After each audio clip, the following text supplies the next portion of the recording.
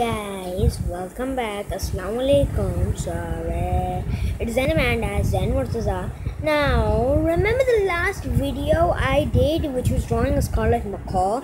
Yeah, you remember that. It could have gone a lot faster than 11 minutes and 2 seconds if I knew how to edit and do time lapse. But since no one has ever taught me, and practically I don't know, I, I didn't know how to do it, so I have to do it well time, bruh. Yeah, after to do time, which is kind of crazy, you know? You know? You know what I mean? Yeah, I'm pretty sure you know what I mean. You, don't you? Don't you know what I mean? No, you don't. Because you're stupid. Yeah, you're stupid. Sorry, guys. I'm sorry, Albert Einstein, if I hurt you. And sorry, Aristotle. You're, you're a great man.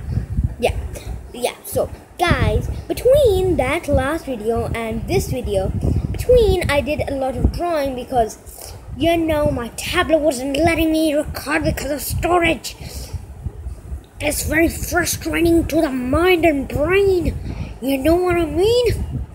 So this is the full project actually finished.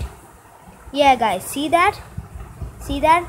See that beauty yeah, it looks beautiful, doesn't it? Now this is how you draw a sky my brothers. So basically I just outlined it and everything and now it's basically complete. So you know, you know this is better now. And that's how you draw a sky macaw, my friends. You can do an environment if you want. I will be doing an entire series on how to draw rainforest creatures on one page. You know what I mean? You know what I'm saying?